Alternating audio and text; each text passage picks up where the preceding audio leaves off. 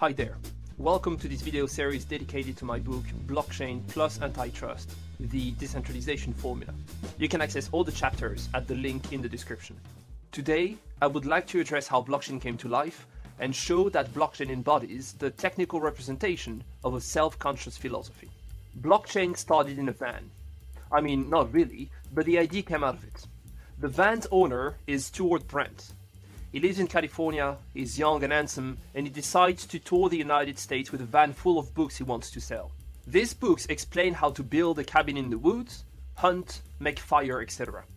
That's right, Stewart Brand is initiating the DIY movement. He wants to enable people by providing them with the right tools. His endeavor is quite a success, and in fact, he has no choice but to print a list of all the books he's selling. The list gets longer and longer and eventually Stewart decides to make a magazine out of it, the Whole Earth Catalog. He prints over 1 million copies in just a few months. A few years later, in 1989, Stewart created the electronic Whole Earth Catalog. This time around, the tool enabling people is a computer. The cypherpunks hear him well. They want to enable individuals by freeing them from the state. They make cryptographic methods accessible to civilians, publish manifestos, and declare their independence. In short, they want to create an ecosystem of their own in which, I quote, the state is not welcomed.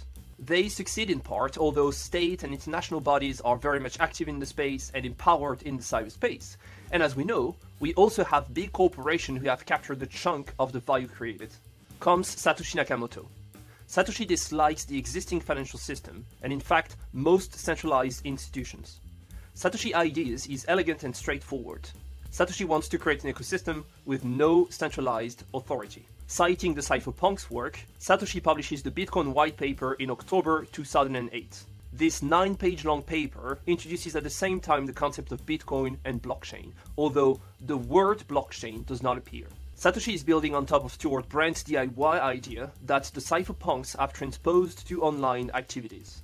If there is no centralized power, no state, no big corporations will be able to take over. Put differently, individuals will be free forever. But as we will see together, things are a bit more complex. Let me take a first example. It also starts in a van. It's September 17, 2018. A blockchain developer who sleeps in California, facing the ocean, discovers a bug in Bitcoin. If exploited, users could double spend their token, meaning they could send the same Bitcoin over and over again.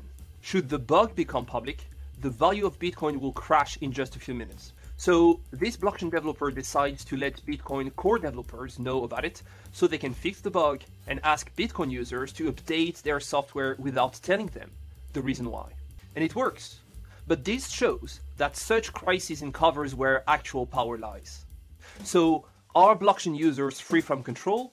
What is control in a blockchain? Where is it? Who is exercising control? To find an answer to these questions, be sure to check upcoming videos. That is all for today.